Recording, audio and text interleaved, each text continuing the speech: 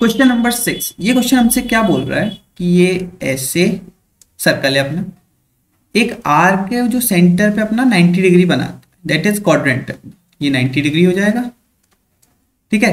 तो इसकी एल कितनी हो जाएगी? इसकी एल यहाँ से लेके यहाँ तक हो जाएगी। अब हमसे ये पूछ रहा है कि length of arc upon circumference का रेशियो क्या होगा? Circum F E R E N C E तो अपन दोनों के फॉर्मूले रखते हैं।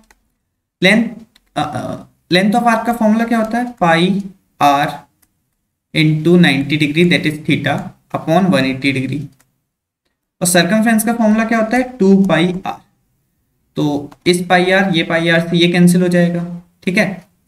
इस थीटा से ये टू टाइम्स कैंसिल हो जाएगा नाइन्टी से ये टू टाइम्स कैंसिल हो जाएगा, और ये वाली चीज़ यहाँ जाती है।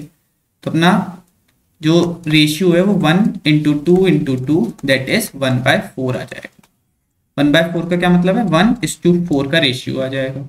One is to four is option number C